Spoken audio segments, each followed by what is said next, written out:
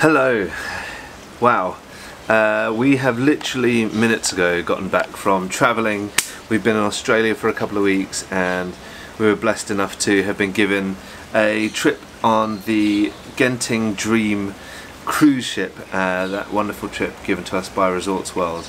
And as we've been back just for a few minutes, literally walked through the door, I'm still in my t-shirt, um, everything kind of got frantic at home just for a moment with kids trying to figure out what to do. Immediately they're home, they immediately say they're bored.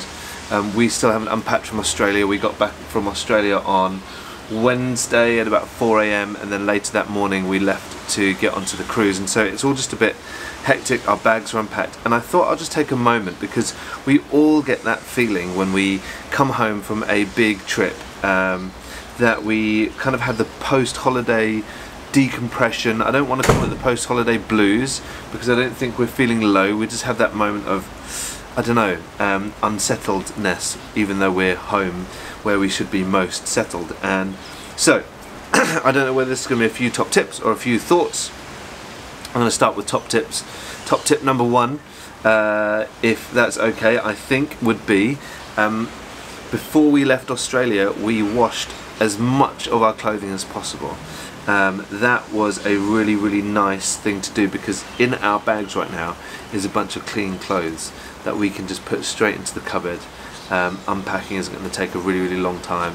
We're not going to have to put everything into the wash um, and then do all the drying and you know everything that feels like a chore uh, when we first get home. I think that's a really important thing to do. Um, I think it's um, good to just wind down.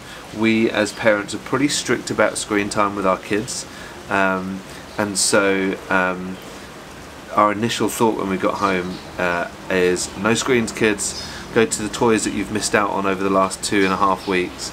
Um, and that's working well. It takes a little bit of resistance first because they're like yeah but we haven't had screens for the last two weeks either. And it's true. Um, but I think it's good to be able to um, remind them of the things that they have got um, which is good. Um, lunch is in a little while. Oh, hang on a minute. I was going with tips, wasn't I? So tip number one, wash your clothes before you come back from holiday. That's a great tip. Uh, it makes packing away really, really easy.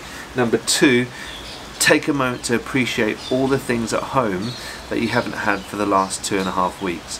For me, I love this bit where I'm sitting right now. And I was just, actually, this is our bedroom balcony. We're incredibly lucky. Um, we live in a condo um, I feel so blessed to be able to be living here. Um, when the taxi dropped us off from um, our cruise just now, um, we usually would take the taxi all the way down into the car park, which gives us a lift, which brings us up to our, uh, our apartment where we are here. However, um, I asked them to drop us off at the taxi drop-off, which forced us to walk through our condo, which has a swimming pool. And we walked past the pool, and you know we've had this incredible time um, on the cruise over the last two days where we could swim at any time we want. But we forget that actually we can do that when we're at home. And I know, um, like I said, I know that we're in a very, very fortunate position to be um, able to have our own pool. Um, but there are things like that for everybody that you have at home, things that you take for granted. Um, I've got a coffee machine. I'm going to go and make myself a coffee in a moment and then sit out here in my favourite spot in the house and just chill out for a little while, enjoying uh, my time and my space. My kids are going to be enjoying their Lego that they haven't been able to bring along for a long time. Their pets who've been looked after by um, our amazing friend Laura for the last um, couple of weeks. And they're going to see and spend time with the hamster and, and the terrapins um, because they haven't had that chance the last two weeks. And, and, and try to savour all the things that we love about our home. So that's tip number two. So tip number one was wash your stuff before you come home. Makes unpacking really easy.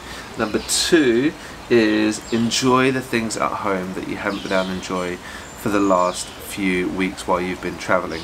Tip number three is um, go through your photos. I know we, we YouTubers, right? So we um, have a load of footage to go through and that's what I'll be doing um, in a little while. But go through your holiday photos look at what you've enjoyed over the last two weeks and appreciate.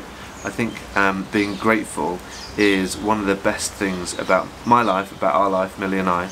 Um, we live incredibly grateful lives. So um, it means that we don't we try not to take anything for granted and um, to, to be able to look and reflect on what has been an amazing trip is a great thing to do as well. So those are three tips. I don't know if I've got any more. I'm going to give, give you some thoughts um, about how I'm feeling about our last couple of uh, our last couple of weeks, um, and if any more tips appear, I'll share them with you.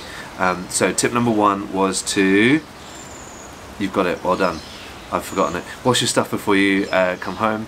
Tip number two um, was to enjoy what you have at home that you haven't had for a little while. Tip number three is to reflect uh, on your on your holiday through your photos, through whatever posts you put on Instagram or whatever it is that you do with your film stuff. Um, yeah, so those are the, the top three tips.